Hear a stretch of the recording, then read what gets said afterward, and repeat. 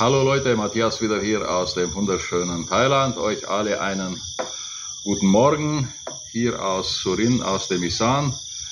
Es wird ein wunderschöner Tag, so wie es heute aussieht. Das heißt, es sind kaum Wolken am Himmel, sonnig und äh, ja, nach dem großen Regen, was wir ja gehabt haben jetzt vorletzte Nacht, ist alles wunderbar.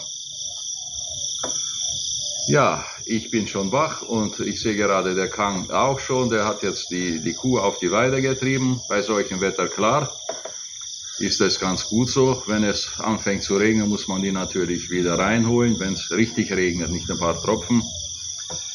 Ja, also ein Tag wie der andere, was soll ich sagen? Gestern waren wir wieder auf dem Markt mit meiner Frau, da bin ich auch da geblieben. Das heißt, ich bin mit ihr am Markt geblieben, bis es fertig war und habe sie dann zurückgebracht. Wir waren so um 10 Uhr waren wir schon zu Hause. Geschäft läuft, es läuft mal so, mal so, aber am Anfang, für den Anfang eigentlich ganz gut, da kann man nicht sagen. Ich bin da zuversichtlich. Allerdings ist das auch, äh, ja, eine, eine Vollzeitbeschäftigung, sage ich jetzt mal. Das heißt, meine Frau muss dann wirklich oder sollte jeden Tag dort sein. Ja, dann mit der PET, äh, ihrem Geschäft, äh, das äh, geht auch, ist auch okay. Habe jetzt da ein paar Kommentare bekommen, ja, und das ist nichts. Und äh, Leute, das ist, äh, wie soll ich sagen, in Thailand und überhaupt hier im Isan, da kann man nicht äh, erwarten, dass da einfach äh, die Leute einen die Bude stürmen. Das ist, äh, das Angebot ist so groß. Und wenn die jetzt mal, sag ich mal, 1000 Baht Umsatz macht pro Tag, und äh, davon, äh, was weiß ich, äh, Kosten von äh, 400, lass es 500 Baht anfallen, hat sie immer noch 500 Baht verdient. Und das ist eigentlich, äh, so viel verdient sie nicht, wenn sie jetzt irgendwo in Arbeiten geht, in eine Fabrik oder sonst wo. Das ist die Tatsache. Und hier ist sie frei und hat äh, einfach, äh, ja, hat ihre Freiheit, kann, äh, ist ihr eigener Chef und so weiter. Und es passt ja auch so weit, weil die, wie gesagt, in der Früh sperrt sie die Kinder zur Schule und dann geht sie, äh, macht ihren Kaffee da auf. Und äh, halb vier werden dann, nachmittags werden die Kinder wieder abgeholt. Dann kann sie entweder mit den Kindern gleich nach Hause oder die geht zusammen mit den Kindern und bleibt dann noch mal ein, zwei Stunden oder so. Oder holen wir sie auch ab, die Kinder oder der Kang oder so. Also da wird immer eine Lösung gefunden. Also es äh, läuft eigentlich. Es läuft halt, äh, ja, den Umständen entsprechend eigentlich ganz gut. So, dann das andere, ich habe jetzt auch mehr Freizeit für mich. Das heißt, wenn ich hier alleine zu Hause bin, weil ich begleite ja meine Frau nicht jeden Tag auf dem Markt. Und dann, gut, so kleinere Arbeiten, was mir halt auch Spaß macht mit dem Grasmähen. Zumindest, äh, ja, mit dieser Motorsense, was ich noch sagen wollte die kann man ja einstellen. Ich, ich bin aber jetzt 1,89 äh, groß und diese Motorsensen sind eher für Thailand gemacht, das heißt für kleinere Leute.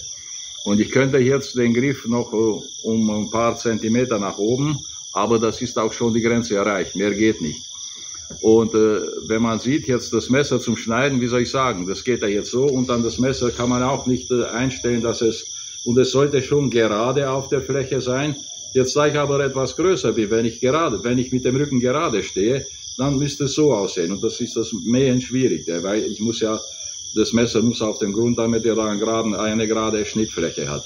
Das heißt, wenn ich schneide, muss ich immer ein bisschen gebückt sein. Das ist nicht gut für den Rücken, ich weiß. Und deshalb tue ich auch nicht so viel. Also jetzt äh, einmal rund um den Pool, da habe ich gemäht und jetzt da vor dem Haus, da tue ich immer wieder ein bisschen mal was, um äh, Gras für die Kuh zu haben, wenn sie abends wieder in, äh, in, in Stall geht, dass sie da was zu fressen hat. Also da kann ich jeden Tag ein bisschen oder wenn der Nachbar kommt wieder zum äh, Gras mähen, kann er auch hier schneiden oder so. Das ist, ja, also ich werde mich da jetzt nicht äh, in die Arbeit reinstürzen mit Grasmähen, weil das ist erstens einmal laut, zweitens nicht gut für den Rücken und äh, drittens sollte man auch nicht zu lange machen. Für mich sowieso. Aber ab und zu wieder mal mit der Motorsense ein bisschen äh, mähen, das macht auch Spaß und das ist okay so. Ja, und, äh, und natürlich dann mit dem Rasenmäher, das ist ja was anderes. Das geht, äh, aber wenn das Gras zu, zu groß ist, kann man natürlich mit dem Rasenmäher da nicht mehr rein, so wie es jetzt ist. Ja, und dann mit äh, meiner Rente, wie gesagt, ich habe jetzt auch Zeit, mich um andere Sachen zu kümmern und äh, da habe ich jetzt äh, bei den Jungs da nochmal angerufen, weil ich habe E-Mails geschrieben und so und äh, keine Antwort. habe ich da angerufen, jetzt äh, war eine Frau da am Telefon, ganz nett, hat nochmal nachgeschaut und sagt, ja, der Antrag ist, äh, ist eingegangen, der wird noch bearbeitet. Eigentlich äh, sollten Sie ja schon ab Juni Rente beziehen, aber muss mal nachschauen, was da, warum es so lange dauert und dies und jenes. Also einfach noch abwarten. Gut, ich lasse es jetzt noch mal eine Woche oder so, dann werde ich noch mal anrufen und werde dir ein bisschen ja, ja auf Trab bringen. Das heißt, äh, es sollte eigentlich schon. Aber gut, wenn es alles. Äh, ich wollte jetzt auch nur wissen, nicht, dass da ein Brief gekommen ist, äh, denn es ist ja so, ich habe schon gesagt, die Post hier im Isan, die funktioniert so gut wie gar nicht. Also wenn da ein Brief nicht mit Einschreiben geschickt wird, kommt er nicht an. Zumindest bei mir in der Gegend. Ich weiß nicht, wie es bei anderen ist. Das weiß ich schon, äh, weil mein äh, Online-Banking ist vor Jahren jetzt schon zusammengebrochen und ich wollte das wieder aktivieren. Habe da angerufen bei meiner Bank in Deutschland. Ich habe noch ein Konto in Deutschland. Und das ist ja so, wenn man das aktivieren will, schicken die zwei Briefe mit äh, Codes, also voneinander getrennt und die muss man dann den Code eingeben, dass man das aktivieren kann. Es geht nur per Post, äh, mit E-Mail und so geht das nicht, haben die gesagt. Und ich habe es monatelang versucht die Briefe sind nie angekommen. Ab und zu ist dann einer angekommen mit, was weiß ich, sechs Monaten Verspätung oder so. Also kurzum, die Post hier im Isan, überhaupt bei uns gegen Surin, funktioniert gar nicht, Leute. Null. Und äh, auch andere Briefe so, also die kommen einfach nicht an. Woran es liegt, ich weiß es nicht. Ich habe mir auch ein Postfach in Surin zuleg, äh, aufgemacht. Habe gesagt, vielleicht äh, ist es ja nur hier so auf dem Land und in der Stadt Surin funktioniert es besser. Nein, funktioniert es auch nicht. Ich weiß nicht, was für Erfahrungen andere gemacht haben mit der Post hier in Thailand, aber wenn ein Brief nicht mit Anschreiben geschickt wird, kommt er nicht an. So ist es bei mir.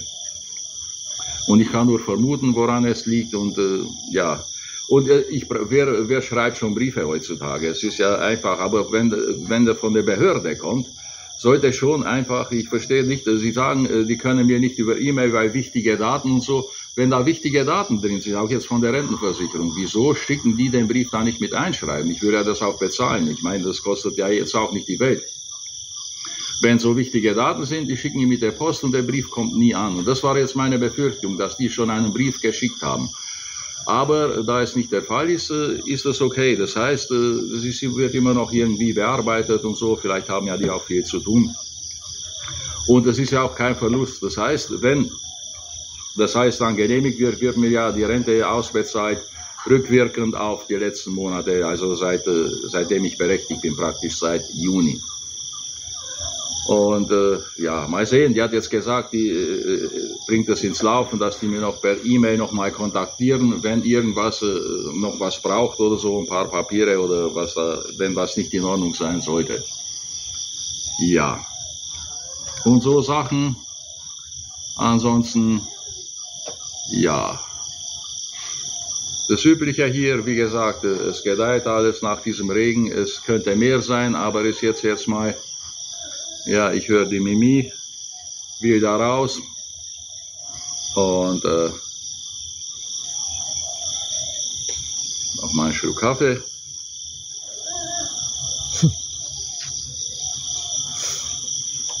ich muss die rauslassen.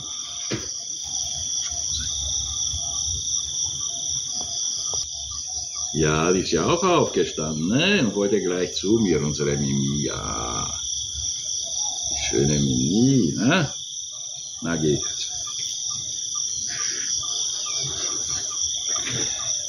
Ja, Leute, und dann, äh, ja, was wollte ich sonst noch sagen? Kommentare soweit, ja. Wie gesagt, eigentlich äh, nur gute Kommentare, ein bisschen Kritik ab und zu, wie das äh, so mit dem Lärm und äh, mit den äh, Straßenverkauf da und so. Ich habe ja gesagt, für mich wäre das auch nichts, Leute. Aber ich muss ja da nicht arbeiten. Und wenn es denen nichts ausmacht, mein Gott, vielleicht äh, sind sie auch nicht unbedingt so glücklich dabei, aber im Moment haben sie halt nichts anderes, auch unsere Pet nicht. Und sollte sich da mal irgendwie, den Standort kann man ja wann immer auch wechseln, nicht? Äh, kann sie wahrscheinlich äh, in Surin irgendwo Innenstadt oder so, wo es nicht so laut ist. Äh, der Standort ist schon laut, das ist äh, aber gut. Für mich wäre das nichts, aber wie gesagt, ich muss ja auch da nicht arbeiten. Ich äh, mache sowieso, ich nehme die Freiheit hier in Thailand, nehme ich mir, ich mache nur noch, was mir Spaß macht. Und mit Arbeit und so, klar, ich tue mich, äh, ich mache nichts, was ich äh, nicht will, sage ich jetzt mal. Und man braucht ja schon, also mir geht so, dass man da irgendwie ein Vorhaben hat, auch ein bisschen Arbeit, ein bisschen, äh, ja, sonst wird's wirklich langweilig hier im Isan. Weil, und ich glaube nicht nur im Isan, es wird auch langweilig in den Touristengebieten. Da kann man auch nicht jeden Tag, also ich könnte nicht jeden Tag, da was weiß ich, am Strand gehen und dann äh, essen und äh, abends äh, in die Bars und so. Das kann man im Urlaub machen, sicherlich. Ich, mir macht's ja auch Spaß, aber nach einer Zeit stumpft das dann ab und äh, nee, also für mich wäre es nichts. Deshalb bin ich eigentlich froh, dass ich hier im Isan bin und dass äh, mein Haus hier steht. Ich sage es nochmal. Und wenn es mir danach ist, nach Urlaub und Party, äh, hält mich ja kein Mensch zurück. Da kann ich das auch machen. Ja, aber äh, gut. Es ist halt so, wenn man äh, das Leben genießen, ist eine Sache. Aber wenn man sich jetzt, äh, also zu mir, das bei mir, ich sage, ich mache jetzt gar nichts mehr und einfach nur noch an der Terrasse sitzen und Kaffee trinken, mit der Zeit ist das langweilig. Gut, man soll es nicht übertreiben mit der Arbeit, das ist schon klar. Aber ich versuche da, äh, mich schon an die Grenzen zu halten. Also ich mache ja mal dies und mal jenes und zeige das auch in Videos. Das heißt aber nicht, dass ich die ganze Zeit, was weiß ich, irgendwie Gras mähen mit der Motorsense oder äh, sonst irgendwas mache. Es ist schon, äh, ja, ähm, es, soll, es gibt nichts über das normale Leben, sage ich jetzt mal. Also ein bisschen von dem, ein bisschen von dem anderen, ein bisschen feiern, ein bisschen Urlaub und ja, das Übliche halt. Und äh, ja, das Wetter in Thailand, man sieht es ja, wir haben jetzt nicht so viel Regen, aber ansonsten überall Überschwemmungen, überall, äh, ja, das, äh, den Regen, das Wasser, was zu viel ist an anderen Stellen, könnten wir hier gut gebrauchen, weil ich sehe es am Teich, Voriges Jahr um diese Zeit war er schon ziemlich voll. Und jetzt, äh, ja, das ist äh, einfach, bis jetzt war, um es klar zu sagen, viel zu wenig äh, Regen, viel zu wenig Niederschlag. Es, es hätte oder viel mehr sein müssen. Vielleicht kommt's ja noch, aber gut, die Reisfelder sind ja ein bisschen geflutet, aber auch nicht so, dass man sagt, äh, ja, es hätte mehr Wasser gebraucht, um es klar zu sagen. Ne? Okay, Leute, und ansonsten, ja, nichts Neues hier bei uns. Das Übliche, wie gesagt, mit meiner Rente muss ich noch ein bisschen warten. Und ansonsten der ganze Papierkram, was ich sowieso nicht gerne mache, mit Lebensbescheinigung äh, hin und her schicken. Ich habe ja noch eine kleine Entschädigungsrente äh, und äh, da muss ich jetzt auch, da hat sich was geändert. Die wollen jetzt einfach zwei Lebensbescheinigungen im Jahr, also alle sechs Monate. Eine ist eigentlich wie die Post hier funktioniert sowieso. Aber gut, wenn ich sie hier wegschicke, schicke ich sie ja mit äh, Einschreiben und die kommen dann schon auch an. Aber immer das Zeug ausfüllen so, das sind so, dieser ganze Papierkram mache ich eigentlich nicht so gerne. Ne? Aber gut, muss sein, sonst, ja. Okay, Leute, und dann schauen wir mal, was der Tag so bringt heute. Und ja, euch jedenfalls noch einen schönen Tag und dann bis zum nächsten Mal. Euer Matthias aus dem wunderschönen Thailand und tschüss.